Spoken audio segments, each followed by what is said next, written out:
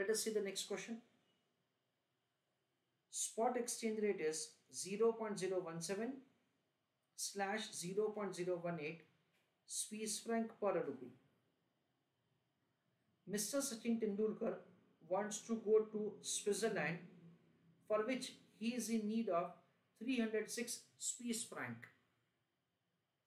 How much rupees he should pay to State Bank of India Mumbai branch? That is the question. I request you to make calculation of the answer and put your answer in the chat box. So we understand that say the spot exchange rate is given 0.017 slash 0.018 Swiss franc per rupee. ये हमको spot exchange rate दे रखा है question में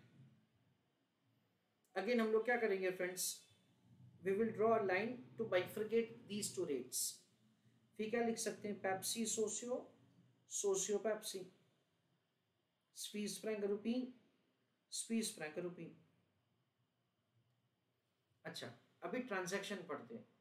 mister Sachin Tendulkar wants to go to Switzerland and for that he is in need of स्पीस franc अच्छा तो transaction में हम लोग क्या लिखेंगे? ट्रांजैक्शन में हम लोग लिखेंगे sale of rupees and purchase of Swiss franc ऐसा हम लोग लिखेंगे।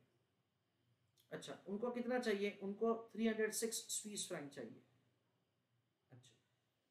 So now sale of rupees and purchase of Swiss franc this is the rate applicable so Swiss franc and rupee 0.017 Swiss franc is equal to 1 rupee.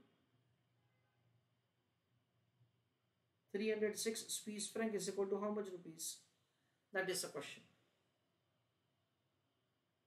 306 into 1 that does not make a sense divided by 0.017.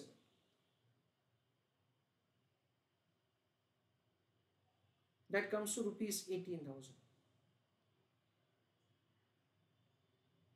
That is the way we are supposed to make the calculation of answer. Please write an answer.